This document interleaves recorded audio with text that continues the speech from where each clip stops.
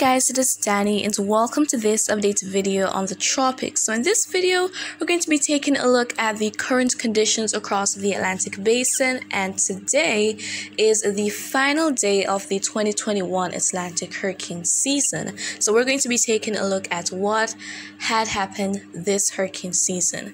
And so before I go into details,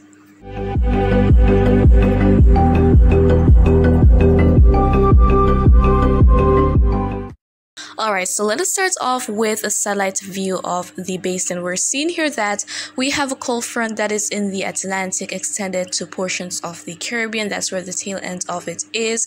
And you also have a little bit of convection in the vicinity of portions of South and Central America. But for the most part, there is nothing much going on out there in the tropics. And so let's take a look at current sea surface temperatures. And so we're seeing here that the Caribbean is, of course, warm. It's a little bit cooler, but it is still going to be warm and it's going to remain warm because, of course, that's the tropics that is warm all year round. But we see that the northern portion of the Gulf is definitely cooling down as we're going to be approaching winter in the next couple of weeks. And so something very important that has been keeping activity at bay. This is the wind shear. So looking at the wind shear map, we're seeing here that we have mainly unfavorable shear extended across majority of the region. So we have uh, the green that means favorable shear, the yellow that means neutral, and the red that means unfavorable. And so we're seeing that it's mainly unfavorable shear that is just being dominant. And this is how things have been since October. And so that's why we haven't had much much development afterwards. And so, so far this hurricane season, we've had 21 named storms. So the list was completely exhausted, and uh, that made this hurricane season the third ever in history where we have all the names being used up on the normal list. So the two other years were 2005 and last year, which was 2020. And so out of those 21 names, Storm seven managed to become hurricanes, and from that seven, we had four major hurricanes. And so the strongest storm of the season was Sam, which had maximum sustained winds of 155 miles per hour and a minimum pressure of 929 millibars. So before Sam, the strongest was Ida, because remember, Ida made landfall along the Gulf Coast and wreaked havoc there, and especially when the remnants made their way up to the northeast, uh, there was so much flooding that occurred in that region. And so Ida was a little bit weaker than Sam. So Sam is currently the holder of the strongest storm of the season, but Ida was more destructive. And so now taking a look at our systems that have developed. So we've had uh, Ana developing on the 22nd of May. And so with the development of Ana, that made this hurricane season the seventh consecutive where we have a system developing before the official start of the hurricane season. And so the World Meteorological Organization was even considering moving the start date of the hurricane season from June 1st to May 15th, but that did not happen for this year years. So we've had another preseason storm, so maybe they will reconsider again. But one thing for sure is that the National Hurricane Center is given outlooks beginning from the 15th of May, and that began this year. And it's all due to the fact that we have preseason development and we've had a lot of storms over the years developing in the month of May.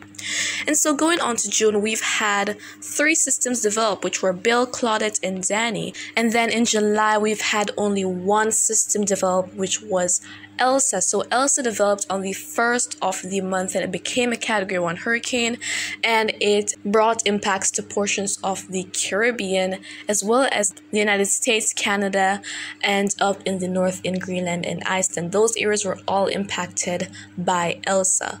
And so next we've had our other system which was Fred developed in the month of August near the middle part of the month. So Fred developed on the 11th of August and uh, resulted in $1.3 billion in damages and seven fatalities, two of those indirect.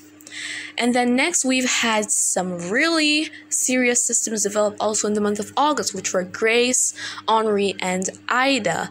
And the most significant out of them was, of course, Ida, because Ida became a Category 4 hurricane, almost a high end Category 4, with maximum sustained winds of 150 miles per hour. So the storm rapidly intensified in the Gulf of Mexico and it became a very monstrous cyclone there. And as I said earlier, we had the remnants of the cyclone that made their way up to the northeast, and the system devastated some states with some very significant flooding. And so, in all, Ida resulted in about over $60 billion in damages, and we've had over 100 deaths as a result of the cyclone. So after Ida, we had the development of Kate and Julian on the same day, uh, which was August 28th, and both remained tropical storms. And so afterwards, we had Larry, which was a major hurricane, uh, actually the second to last of the season. It was a category 3 and it had winds of 125 miles per hour, just shy of being a category 4 hurricane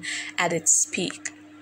And so now going on to the month of September. So we've had quite a bit of systems, about eight to develop in the month of September, which were Mindy, Nicholas, Odette, Peter, Rose, Sam, Teresa, and Victor. And out of those systems, Sam was the strongest and it surpassed Ida as the strongest storm of the season.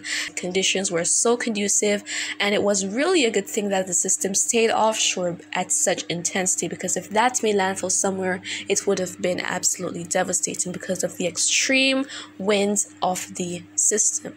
And so later down, we've had a very quiet October until Wanda developed on the last day of October and lasted until November 7th. And so after Wanda dissipated, we've not had the formation of any other tropical cyclone since. So the end of the season has been pretty quiet, and that is usually anticipated. But compared to last year, this season was definitely more quiet because in the months of October and November, we've had a lot more systems that developed last year than this year. So overall, that was it for this hurricane season. We've had as I said earlier, we've had all 21 names being used up, which makes the list exhausted. And so, persons might be wondering what's going to be happening next year. Well, truth be told, it is too early to tell, but as we're going to be progressing into the new year, we're going to be hearing uh, different predictions from various sources, especially in the spring, especially around May right today, where no one's going to be giving their predictions as well. So, by that time, we will see what's going to be anticipated. But one thing for sure is that we don't have any tropical cyclones cyclones to worry about for the next coming weeks at least. And so, guys, for this hurricane season, it is likely that we will have one name, and I would say Ida is the only name that is going to be retired for this hurricane season. But we'll know that, I believe, sometime in March. But as of right now, I believe that Ida is the only name that is going to be retired because of the massive destruction and fatalities that the system resulted in. And uh, you can share your thoughts with me in the comments. Which name do you think any other names will be retired for this hurricane season?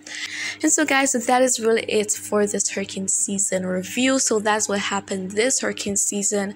And of course, I want to say a huge thank you to all of you who have been so supportive of me over time, not just this hurricane season, but ever since I began my YouTube channel. It really means a lot how you guys are so supportive of me and I really appreciate it. And of course, next year we're at it again with the daily updates.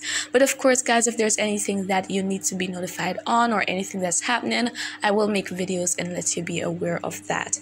And so, guys, thanks for watching this video. And if you found it to be quite informative, please give a thumbs up and you can also share thoughts with me in the comments or ask a question. I will try to respond as best and as soon as I can. And just remember to always be with wise.